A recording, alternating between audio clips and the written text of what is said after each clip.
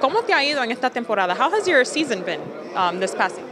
My season has grown uh, real great. Uh, I, I led the Miami Dade and runner-up in interceptions with eight this year. That's amazing. That's a very good record. Um, now, moving forward, what, what schools are you shopping around at or have you committed? ¿Cuáles son tus planes para la universidad? No, I haven't committed yet. Um, I spoke to a lot of schools, Division One, Oregon State, Utah State, like that, in that range. ¿Cuál escuela tú quisieras ir a? What school would you go to if you could pick? Uh, as of right now, I'd probably go to Utah State. And why Utah? ¿Por qué Utah?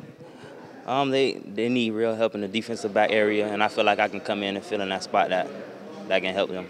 So you would prefer to come in and help a team as opposed to go somewhere that's doing exceptional? Yes, I, I can go somewhere that that uh, great program, but I'd rather go in to help and fill for the future.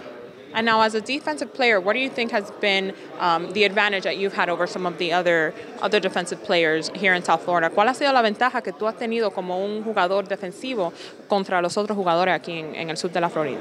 Well, I like to study the uh, top receivers of the team, and I can tend to like to know their best routes, and I can read upon like how their stance is and the body language, and I, I just go off of that, so to know like how if it's a pass or just off of that.